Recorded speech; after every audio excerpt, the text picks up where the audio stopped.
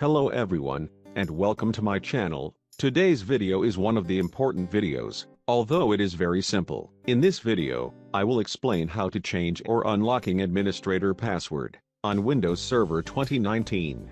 There is more than one way to change the admin password, but today I will explain a very easy method if you want to change the administrator password, or the account has been banned, follow these steps.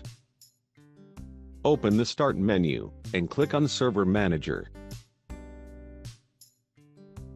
When you open Server Manager, look at the top right, you will find the Tools menu, click on it.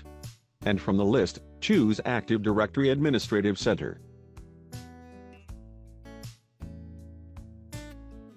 After opening the Active Directory Administrative Center, you will find a Reset Password box at the bottom.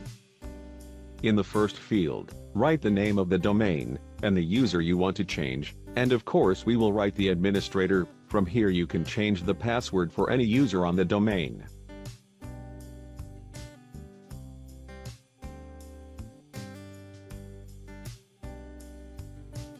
Then type the new password and confirm the new password.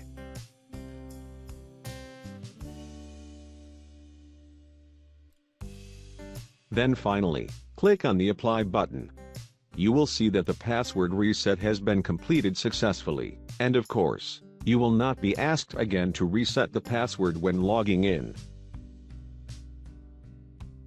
As noted, the process of changing the administrator password is not that complicated, however, care must be taken when modifying these values, as they will affect the entry of the administrator later.